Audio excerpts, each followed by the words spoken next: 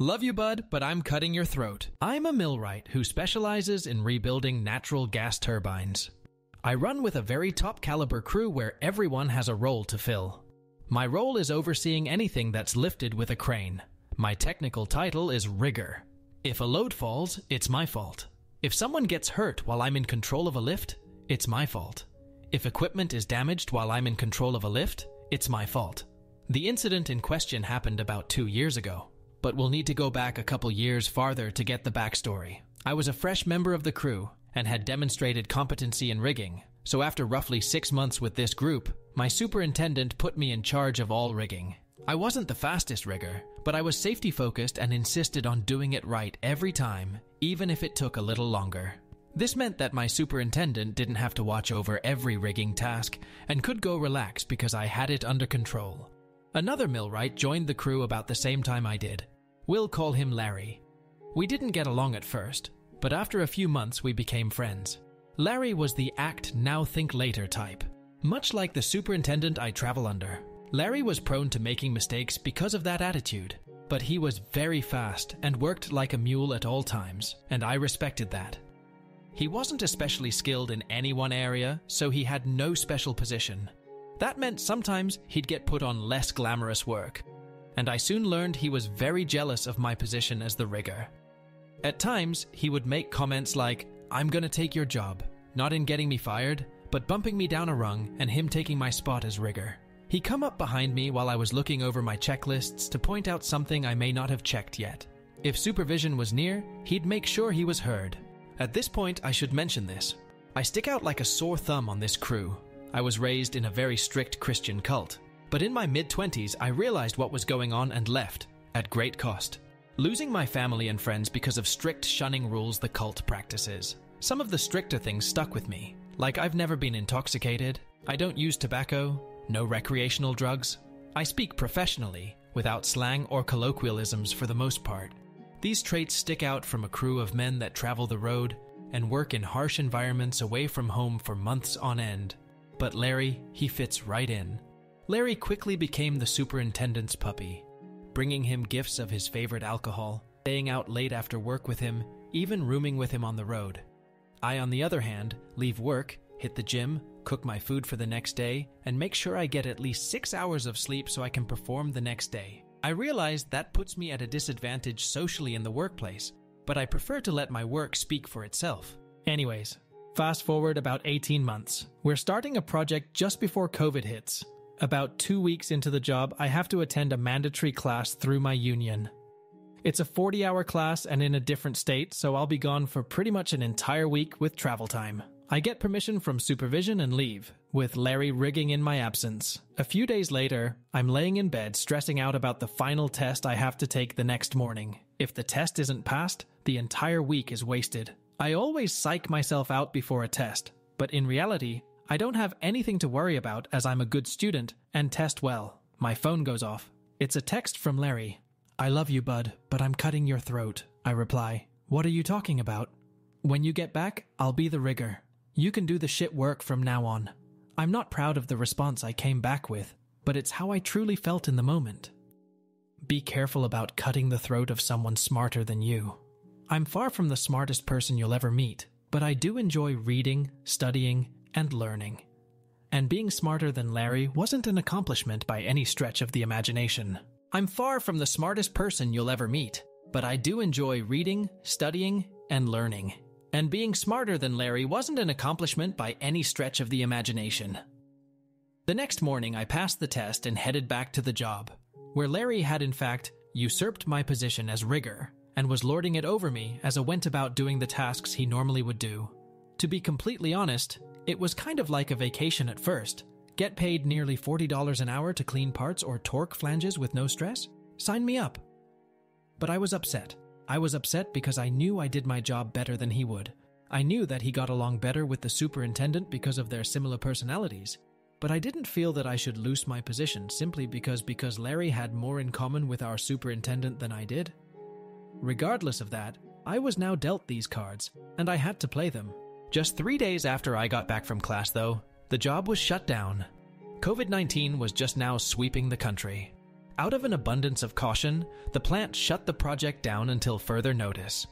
We were sent home for about three days and then called out to an emergency shutdown where a turbine had crashed. We roll out and are on the job 48 hours later in the middle of nowhere, Alabama. We get right to work. On this particular unit, you pull the entire roof off in two sections with a crane to open the enclosure. Compared to many things we lift in a project like this, the roof weighs very little. The turbine rotor may weigh over 100,000 pounds, but the roof usually weighs around 7,000 pounds. Lightweight. But it is large and there are critical parts around the roof that can be damaged if not lifted carefully. Typical procedure is to be on top of the roof after it's unbolted, be in a full body harness, and tied off to an approved anchor point capable of holding at least 5,000 pounds per OSHA regulations. We then slowly take the weight of the roof with the crane until it's floating, and then climb down off of it and continue the lift until it's set on the ground or on a truck to be moved. The superintendent instructs me to go on the roof with Larry and assist him. Do whatever Larry tells you to do. Okay, boss. I put on my harness and climb to the top and begin to assess the situation. The rigging to lift the roof is four 5 ton chainfalls. It's capable of safely holding 20 tons, well over the weight of the roof. The crane is also well overrated for this lift, even with the boom extended all the way out, in order to clear another building on the way to the ground. Larry has it all rigged up, but no tension on the wire rope slings. And then I notice his crucial mistake he has forgot to account for boom deflection. When a crane takes the weight of a load, the boom flexes down. Depending on the crane setup and the weight of the load, it can mean that while your crane hook might be centered in your load with no weight on the hook, once you get the weight of the load on the crane, the crane hook could be anywhere from a few inches to a number of feet off center, which means that when the load come off the ground, it swings. Swinging is bad, always. Enough weight swinging could tip the crane, crash into equipment, crash into a person. It's very dangerous. At this point, I start calculating is this weight enough, even swinging, to tip this crane? No, not even close. Is it enough to break a chainfall? No, not even close. Are there any people working around us that could get hurt? Nope, it's just us. Is there any equipment that could be damaged if it swings? Yes, an electrical control panel, which has all power killed to it and has been disconnected, is in the swing path. I decide to let Larry hang himself. He looks at me and asks what I think. I tell him, This is your show boss. He asks what I mean. I look him in the eye and draw my finger across my throat. He gets nervous because he knows exactly what I mean. Starts double checking everything. He still doesn't notice the boom deflection. After a couple minutes, he decides I must be talking out of my ass and proceeds with the lift. I stop him and remind him to tie off with his harness. He doesn't realize it, but we're about to go for a ride. Generally, when I'm rigging, I first find out what the thing I'm rigging to weighs. It's a vital piece of information. If I know what it weighs, I can have the crane operator track how much weight he has on the crane, and I'll be able to know when the object should start to pick up. If we get to over 10% more than the object should weigh, there may be something stopping it from moving, and we need to stop and reassess the situation. Rigging could fail, the object you're lifting could jump into the sky, all kinds of mayhem may ensue if a hidden bolt holding something together breaks because you used too much force to lift it. I ask Larry if he knows how much the roof weighs. He doesn't. I do, but don't tell him. He starts signaling the crane to slowly hoist up. The operator complies and starts lifting. I'm watching the boom get pulled more and more off center. We're probably two feet from the center of the load at this point meaning a swing that could travel nearly four feet. I stop Larry and ask him to see how much weight is on the crane 11,000 pounds, 4,000 more than what it should weigh. This roof is in a bind because we're not picking it straight up, but at an angle. It's either not going to move or we're about to fly. I brace myself. Hoist up slowly. Larry calls over the radio. Boom! The whole roof shoots a good two feet into the air and swings wildly towards the control panel. Larry and I are riding it like pirates in the crow's nest in a hurricane. We crash into the control panel, bending it over at a 45 degree angle, destroying most of its components. People start pouring out of the nearby trailers to see what the commotion is all about. The crane operator is yelling over the radio, asking what the hell just happened. I'm smiling.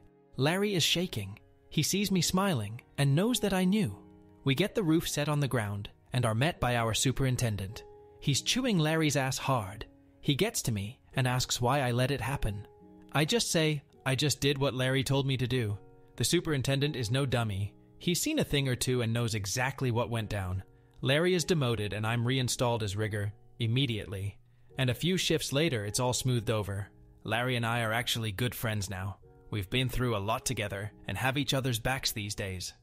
Now the foreman on our crew and lets me do my thing. Failing your way to the top is still a valid way of progressing in my field, but I'm happy for him. He's actually good at it.